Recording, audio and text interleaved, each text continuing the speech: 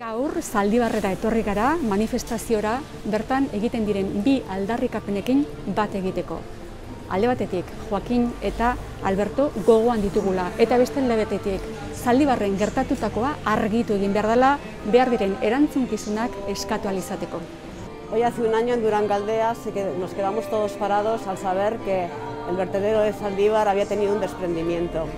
No sabíamos el alcance de las consecuencias, pero Enseguida nos comunicaron que dos trabajadores habían quedado sepultados por toneladas de residuos.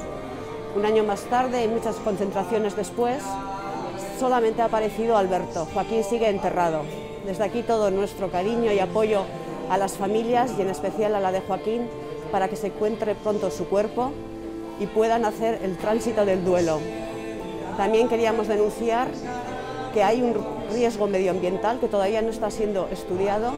Es evidente que el desastre de Zaldívar tiene mucho que ver con, la apuesta que hace el gobierno vasco por un modelo de gestión de residuos que los privatiza y que los pone en manos del mercado.